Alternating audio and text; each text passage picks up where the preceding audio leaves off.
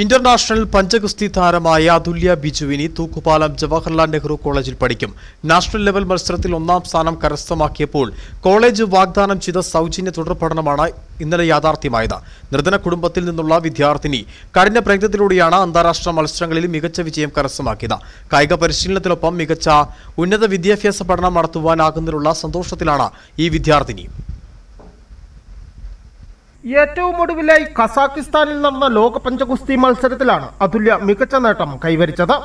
ലോക പഞ്ചഗുസ്തി മത്സരം ജൂനിയർ വിഭാഗത്തിൽ ഇന്ത്യയ്ക്ക് വേണ്ടി ലെഫ്റ്റ് ഹാൻഡ് വിഭാഗത്തിൽ നാലാം സ്ഥാനവും റൈറ്റ് ഹാൻഡ് വിഭാഗത്തിൽ അഞ്ചാം സ്ഥാനവും കരസ്ഥമാക്കി.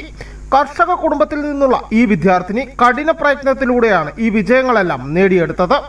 നാഷണൽ ലെവൽ മത്സരത്തിൽ ഒന്നാം സ്ഥാനം കരസ്ഥമാക്കിയ അവസരത്തിൽ പ്ലസ് ടു വിദ്യാഭ്യാസം കഴിഞ്ഞിരുന്ന അതുല്യയുടെ ഡിഗ്രി പഠനം സ്പോൺസർ ചെയ്യുമെന്ന വാഗ്ദാനം ജനറൽ മാനേജർ അശോകൻ എ ആണ് അറിയിച്ചത്. ഈ വാഗ്ദാനമാണ് ഇന്ന് നിറവേറ്റിയത്.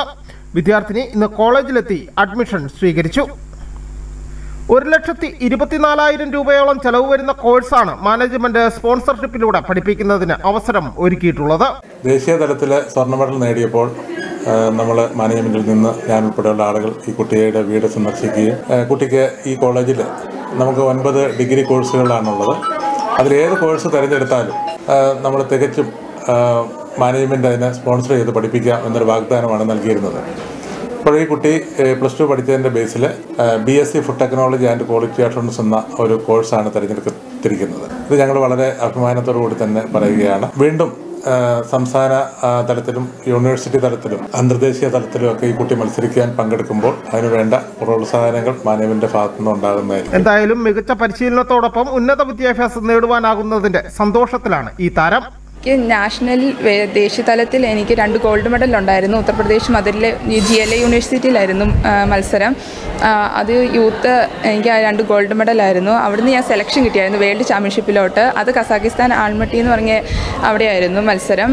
എനിക്ക് അവിടെ ജൂനിയർ ലെഫ്റ്റ് ഫോർത്ത് പൊസിഷൻ എനിക്ക് അവിടെ കിട്ടി. പിന്നെ എനിക്ക് ജവഹർലാൽ നെഹ്റു കോളേജ് എനിക്ക് ഇവിടെ സ്പോൺസർ ചെയ്തു ഞാൻ എടുത്തത് B S C ടെക്നോളജിയാണ് general manager Ashokan A P vice principal Ajith N S H R manager Sumi Mohan എന്നിവർ ചേർന്നാണ് വിദ്യാർത്ഥിനിയെ സ്വീകരിച്ചത്. News bureau Kambamettu.